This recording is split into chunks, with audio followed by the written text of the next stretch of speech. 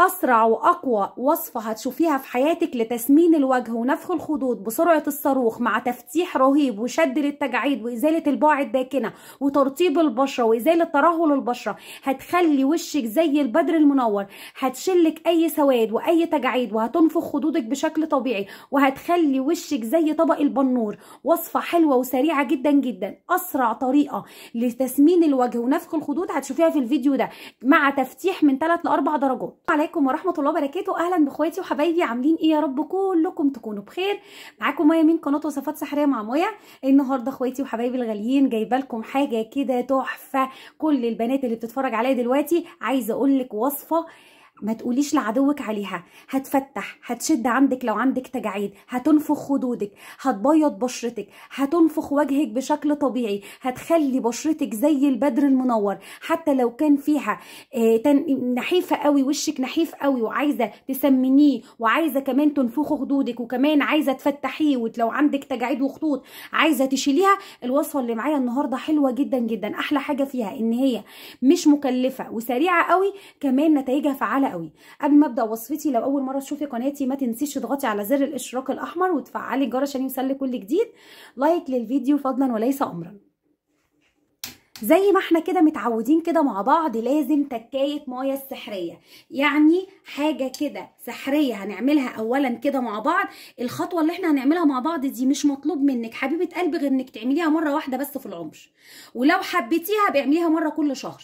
دي وصفة أو طريقة هقول لك هتعمل معاكي إيه بس هتغير من بشرتك 180 درجة.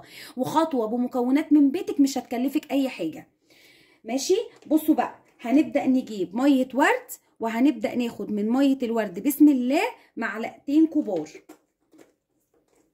زي ما قلت لكم الخطوة دي هتعمليها مرة واحدة بس في العمر. طريقة سهلة وبسيطة بس هتغير من بشرتك 180 درجة.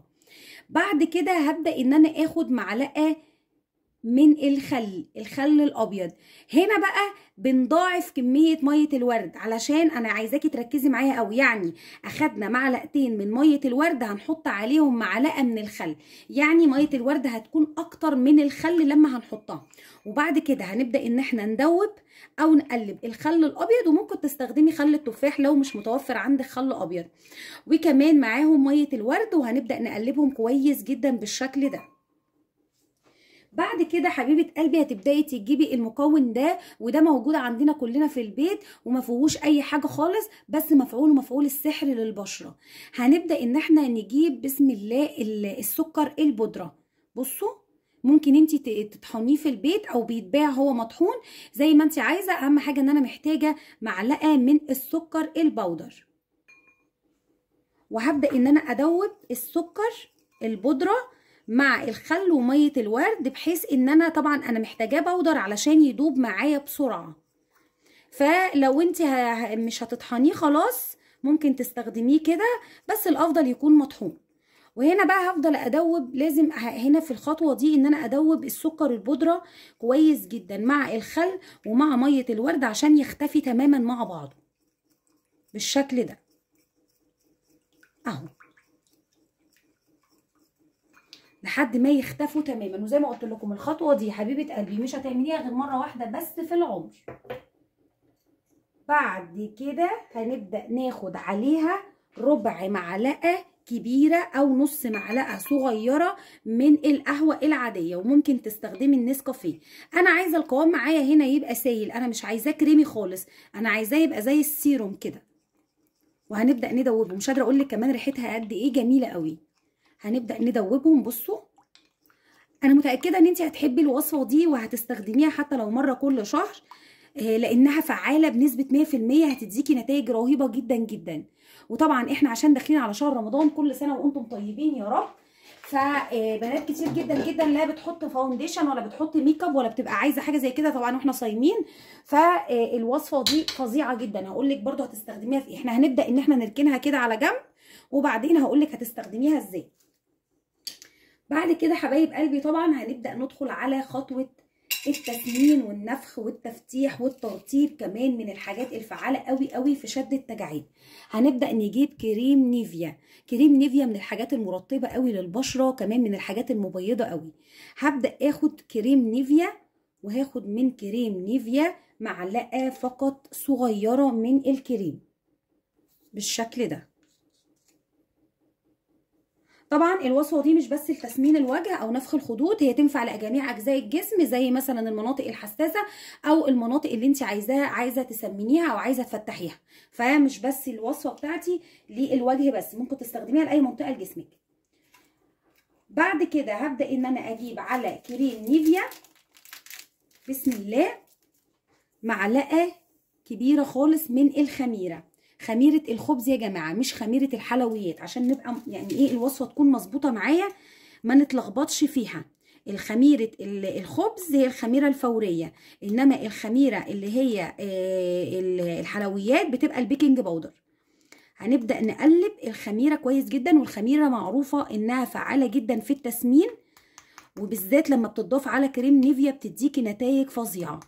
هنبدأ نقلب كويس جدا ونعجن الخميرة بتاعتي مع آه الكريم كويس قوي بالشكل ده.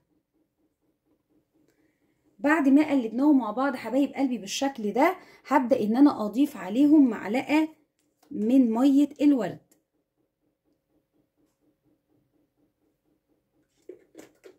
وهبدأ إن أنا أقلب. طبعا هنا ده كريم فمش هيندمج يعني على طول مع مية الورد. مع التقليب هيبدأ يتداخلوا كده أو يتجانسوا كده مع بعض غير إن إحنا في مكون تاني هنحطه هيخليهم يتقلبوا كويس. بس كده مش لازم نقلبهم أكتر من كده لأن إحنا لسه هنقلبهم تاني.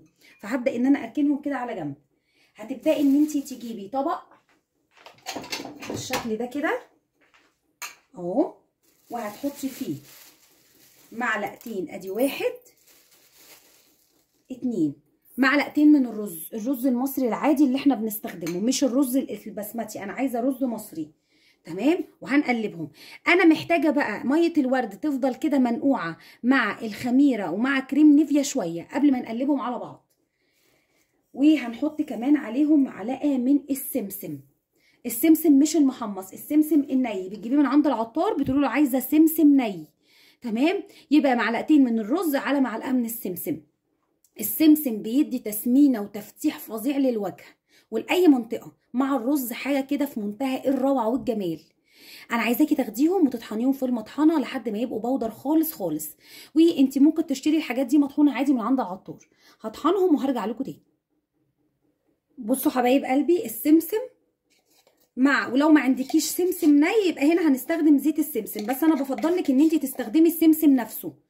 تمام؟ عشان السمسم نفسه مناسب لجميع أنواع البشرة كمان أقوى من زيت السمسم في التسمين أو في التفتيح. تمام؟ يبقى أخدناهم بودر بالشكل ده. السمسم مع الرز بتاعي لحد ما طحنوا وبقوا ناعمين كده. بعد كده هبدأ إن أنا أجيب مية من الحنفية تكون دافية وهقلب تدريجيا كده. مش هقولك المقدار بالظبط يعني أنا حطيت حوالي أربع معالق من المية. وتفضل يعني المفروض إنها تكون مية دافية. وهبدأ إن أنا أقلب المية الدافية كويس جدا على السمسم والرز بتاعي. طبعا الوصفة بتاعتي زي ما قلت لك هي مش هتديكي تسمينة أو نفخ لخدودك بس هي هتديكي آه تفتيح عميق وشد للتجاعيد وكمان علاج الترهل اللي بيكون في البشرة. بعد كده هنبدأ إن إحنا ننزل بكريم نيفيا مع مية الورد وكمان مع الخميرة. وهبدأ إن أنا أضيفها بالشكل ده كده على المكونات بتاعتي. هنا بقى هتبدأ المكونات بتاعتي تتجانس وتبدأ تتقلب كويس معايا. هبدأ إن أنا أقلبهم بالشكل ده كده وأعجنهم مع بعض. تقدري تكتري كمية الكريم بتاعتك زي ما تحبي. كمية زي ما بقول لكم أنا بعمل دايما بتبقى الكمية بتاعتي تجريبية بس انت بتقدري تكتري الكمية زي ما انت عايزة آه عشان تستخدميها. كمان زي ما قلت لكم الكريم السحري ده ينفع لجميع المناطق اللي انت عايزة تديها تسمينة. بصوا حتى لو لإيديكي كمان يعني لو عندك ترهل في إيديكي أو عايزة تسمني إيديكي وتديها تسمين وتفتيح وكمان تشيل العروق البارزة تقدري تستخدمي الكريم السحري ده. بصوا جماله شايفين جمال الكريم؟ حاجة تحفة. وتقدري برضو حبيبة قلبي تحتفظي بيه في علبة مغلقة وتقدري إن انت تستخدميه. آخر حاجة بقى هنضيفها مع بعض أصحاب البشرة الدهنية مش هتقدري تضيفي المكون ده بس الأفضل إن انت تستخدميه آه لجميع البشرات بس البشرات اللي هي آه دهنية مش هتستخدميه وهو زيت الزيتون. هنبدأ نقلب زيت الزيتون كويس جدا جدا مع المكونات بتاعتي. زيت الزيتون هيديكي ترطيب عميق وهيديكي تغذية لبشرتك.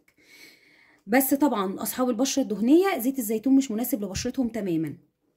هنبدأ نقلب كويس جدا. بعد ما قلبنا الكريم ده نركز مع بعض بقى عشان طريقة استخدامه مهمة قوي علشان تجيب معاكي نتيجة سريعة.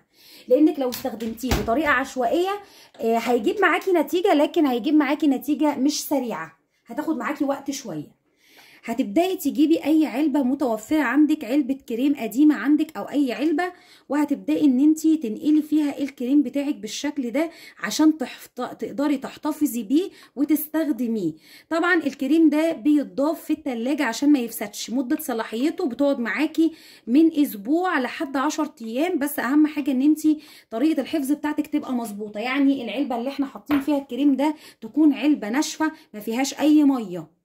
عشان الكريم يجيب معاكي نتيجة. دي أول خطوة. تاني خطوة لازم تحطيها في ضرفه اللي هي اللي فوق في المطبخ وبتبدأي إن انت تقفليها بالشكل ده وبتبدأي تستخدميها. طيب هستخدم الكريم ده إزاي؟ نركنه على جنب وهقول لك بقى الخطوة السريعة اللي إحنا عملناها اللي انت لسه ما تعرفيش فوائدها عاملة إزاي في آه للبشرة. بصوا بقى الخطوة دي زي ما قلت لكم الخطوة دي بالكافيين والخل وكمان مية الورد. من الحاجات الفعالة جدا جدا لتنظيف البشرة من جوه ومن بره مع تفتيح فظيع. بتشلك كمية أوساخ من جوه البشرة فظيعة. انت كل اللي هتعمليه هتاخدي المية دي وتدلكي بيها وشك كويس جدا مع الفرق وتسيبيها على وجهك حوالي عشر دقايق. بس أهم حاجة إن انت تاخديها كده وتقعدي تفركي بيها. أكنك بتغسلي بيها وشك لأنها هتطلع لك كمية أوساخ من وشك عايزة أقول لك أكنك بالظبط رحتي عملتي ست سبع جلسات تنظيف. بتنظف البشرة تنظيف عميق. إحنا ليه عملنا الخطوة دي؟ إحنا عملنا الخطوة دي لأننا علشان نفتح ونشد التجاعيد ونسمن الوجه لازم تبقى بشرتنا نظيفة قوي. فأنا مش هقدر أقول لك روحي اعملي تنظيف وكلفي نفسك فلوس قد كده علشان إيه؟ قبل ما تستخدمي الكريم. لا أنا عملت لك السيروم السحري المنظف للبشرة اللي بيفتح وبيشيل الأوساخ في البيت وتعمليه مرة واحدة. ده اعمليه مرة كل شهر اعمليه مرة واحدة بس إزاي؟ كل لما تحبي تنضفي بشرتك ما تروحيش مراكز تجميل واعملي التنظيف ده. هينضف بشرتك قوي وهينضف أي مكان عايزة تشيلي منه أوساخ متراكمة وتشيلي منه جلد ميت وتشيلي منه وتفتحيه كده. كل اللي بتعمليه من 10 ل 15 دقيقة بتسيبيه عليه بعد الفرق الكويس قوي. وبنعمل اختبار يا بنات للحساسية عشان لو عندنا حساسية ولا حاجة. تمام؟ بعد كده بقى هنبدأ نشوف الكريم السحري. شايفين جمال الكريم؟ فين بقى تسلم إيدك يا مايا؟ الله يسعد قلوبكم. ما تنسوش comment حلو منكم كده وصلوا على سيدنا محمد في الكومنتات. و like الله يسعدكم يا رب. بصوا بقى هتيجي بقى يا برنسيسة قلبي وهتبدأي تدعكي كده بقى وشوفي بقى البياض وشوفي النضارة وحطي بقى كده على خدودك هينفخ خدودك وهيفتح بشرتك وهيديكي صنفرة فظيعة. الرز بصوا عايزة أقول لكم إن هو بيحك كمان في البشرة فبيشيل الجلد الميت. بتبدأي تدهنيه بالشكل ده وده بقى بيتساب 30 دقيقة كاملة. 30 دقيقة كاملة على الوجه وبعدين بنغسل بشرتنا. ده بقى الكريم ده بنستخدمه من 3 أيام لأسبوع حسب قبول بشرتك للوصفة. ولازم إن إحنا نكون غاسلين بشرتنا بميه دافية عشان نفتح المسام وبعدين ندهن الكريم وبعد كده بعد وإحنا بنغسل وشنا من الكريم نغسله بمية ساقعة عادي من الحنفية كنا فاتحين المسام بتاعتها. وبتحتفظي بيه في التلاجة. الكمية دي هتكفيكي أكتر من أسبوع كمان. جربوا يا بنات الوصفات وقولوا لي رأيكم في ال comments. بجد حاجة في منتهى الجمال والروعة. ولو في حاجة ما توضحتلكوش عرفوني وأنا برضو هرد عليكم في ال comments أشوفكم على خير والسلام عليكم.